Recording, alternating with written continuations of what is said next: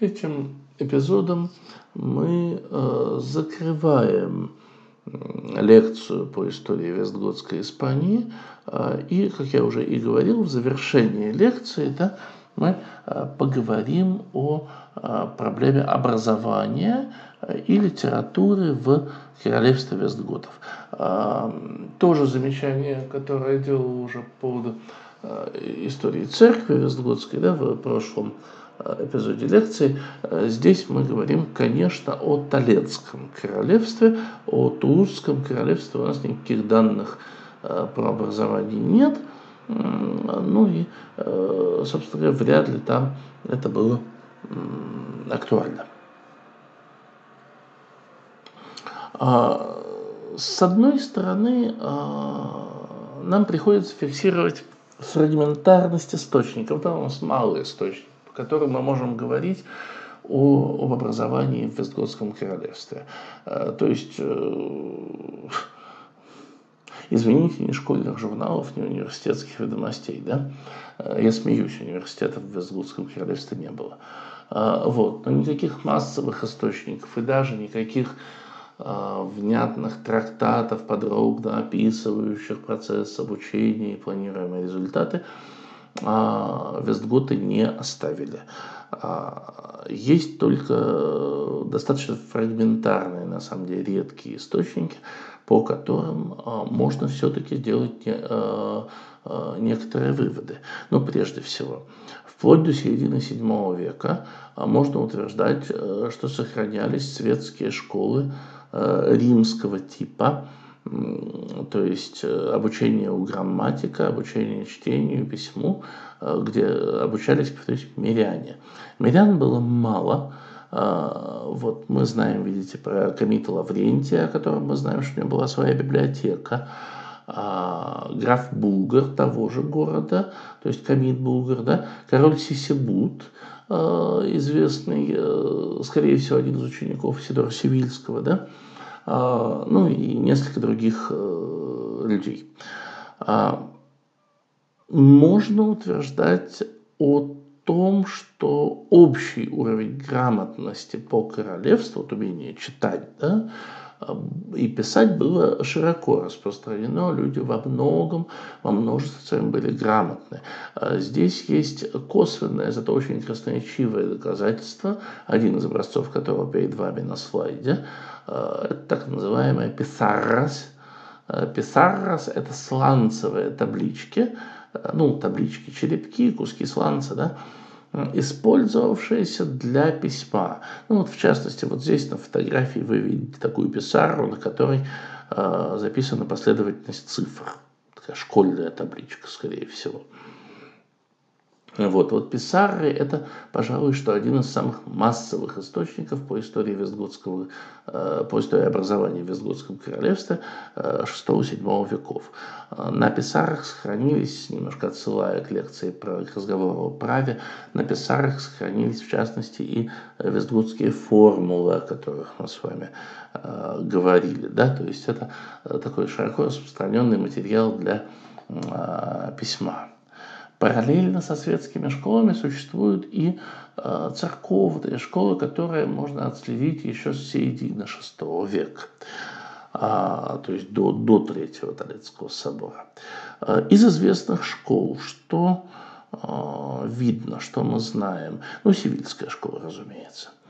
Сивильская школа, которую создали Леандр и Сидор Сивильские, два брата, а вот, э, где учился Браулион, э, будущий епископ Сарагосы и предполагаемый автор первой, кни первой книги э, кни Либер Юдициорум, первой из 12, да, а Браулион Сарагосский, любимый ученик Сидора Сивильского, оставивший прекрасную переписку с учителем,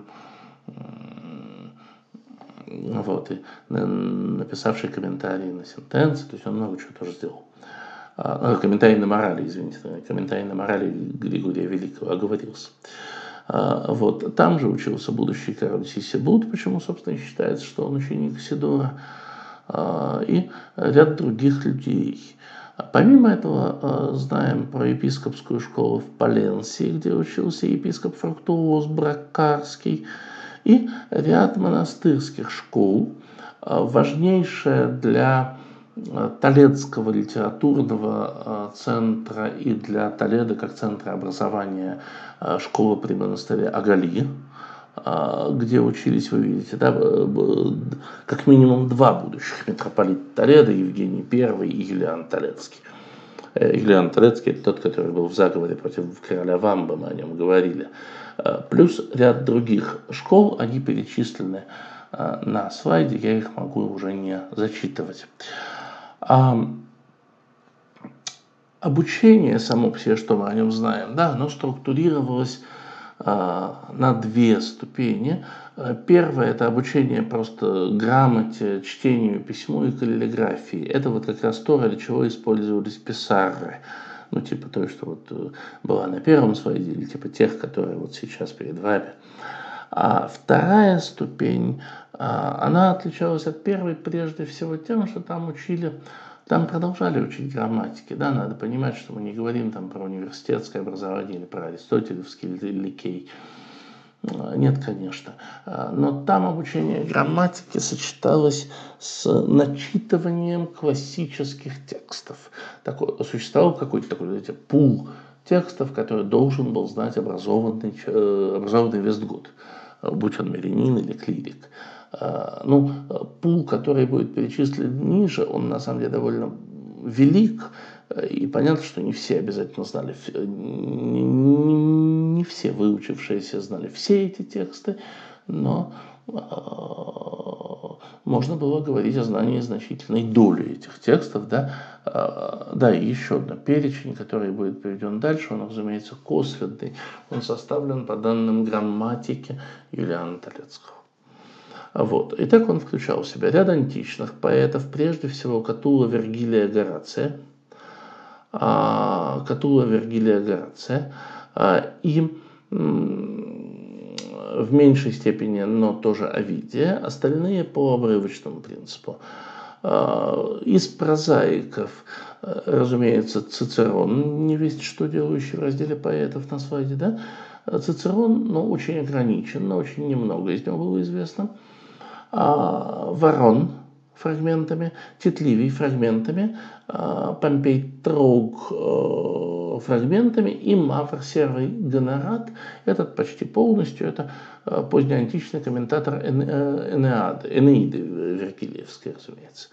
Вот, поскольку Энеида была довольно широко известна, то комментарии Сервия Гонората тоже были довольно популярны. Из христианских поэтов – целей Сидулей, э, а в зоне Пруденции, да, вот они перед вами, э, и христианские прозаики, это Иероним, Августин и Сидор Севильский. Если говорить о круге, ну, сказать, более широком круге чтения, да, которые читали уже совсем не все, а те, кто, как сказать, специализировался, наверное, да, по той или иной карьерной траектории, э, хотя это, конечно, очень своеобразный анахронизм в данном случае. Но, тем не менее, да, для богословов это помимо священного писания, э, это основные монашеские уставы э, и тексты Августина Кассиадора и обязательно Григорий Великий, конечно, один из очень популярных авторов на полуострове, это Григорий I Великий. А, вот. А, соответственно, для тех, кто учился праву, э, наиболее возможным учебником был, конечно, бревиарий Алариха, такой магистериум витте. А, ну, плюс литургические книги, плюс сочинение Сидора Сивильского. Это то, что читали более-менее все. Вот. Что, э, какие плоды образования в Вестгутском королевстве можно отметить. Ну, во-первых, чрезвычайно развитое литературное творчество. А, я отсылаю вас к э, той литературе, которая приведена в списке на следующих двух слайдах, а, и, собственно, которую я частью упоминал а, в самом начале лекции, а, ну, чтобы не пересказывать здесь последовать, потому что иначе дальше надо было бы говорить, да, просто литература, вестготская литература на западе королевства, на востоке королевства, в Севилье, в Толедо, и это был бы отдельный разговор в каждом конкретном случае с там, э, пятью, семью, десятью именами и разными названиями произведений. То есть литературное творчество в Вестготском королевстве развито очень сильно. При этом мирян, мы говорили, очень мало. Да? Э, практически все, кто пишут, это клирики. А античная традиция используется, но используется прежде всего для осмысления христианских образов что, в общем, определяет круг античных авторов. То есть тот же Цицерон, например, используется минимально. Да, э, Мавр Серый Гонорат используется, он сам э, около христианин, да, и его комментарий очень хорошо ложится на христианскую символику. Вот. А с другой стороны, наличие вот этого школьного пула античных авторов – а, помогает сохранить и развить э, э, нормы античной риторики. Впрочем, здесь тоже не все гладко. Скажем, Исидор э, пишет почти совершенной латынью, простая, прозрачная, с грамматической точки зрения латынь, которая обманчиво легка, обманчиво легко переводить, да? обманчиво, потому что э, за каждым словом стоит бездна смыслов. Исидор великолепно владел языком. Просто он умел писать очень легко, очень красиво. Его ученик Браулеон Сарагосский почти полная противоположность учителю. Языком владеет тоже как Бог, но там, где Исидор ограничивается короткими, внятными, относительно ясными конструкциями, э, Браулион э, пишет э, сложнейшие многослойные периоды, как будто ставит целью показать все грамматические обороты и конструкции, которыми он владеет. То есть ну, читать очень сложно. А, соответственно, малая доля а, мирян да, определяет, как вы видите, и основную жанровую структуру вестготской литературы. Это прежде всего литургические богослужебные тексты, а, это исторические сочинения типа хроник, Политические трактаты редко и мало, прежде всего, это история короля Вамбы, такой историко-политический трактат и рассказ о восстании Дукса Павла. А энциклопедическая литература представлена Исидором, конечно, его этимологии, а, письма, а, переписка Сисибута Исидора, Браулеона Исидора, прежде всего, ну и сочинение о сиятельных мужах, такой классический, э, как сказать, жанр позднеантичного и раннесредневекового текста. А, давайте мы на этом остановим разговор о культуре Вестготского королевства. О ней можно говорить еще или очень долго, или просто отослать вас к самостоятельному чтению, что я, собственно, и сделаю. А, значит, обратите, пожалуйста, внимание, вот а, сейчас на слайд. Вестготскую правду, да, это издание я горячо рекомендую всем. Не обязательно читать саму книгу приговоров, это как раз по желанию. Вступительное исследование посмотрите. Там собраны статьи и по общественно-политической истории, и по экономической истории, и по правовой, и по культурной истории Вестготов. А книгу Олега Валентиновича Аурова «Испания в эпоху Вестготов», э, если вас интересуют Вестготы вообще, я очень рекомендую. Это, пожалуй, что самая короткая и самая внятная на русском языке история Вестготской Испании. А Корсунский и Клауда – это еще варианты общих историй. А вот книги э, Михаила Юрьевича Биркина, Елены Сергеевны Марии и э, вот этот вот коллективный текст «Теология и политика» очень рекомендую тем, кто заинтересовался историей Вестготской церкви, образованности, литературы в Вестготском королевстве. Вот это для вас.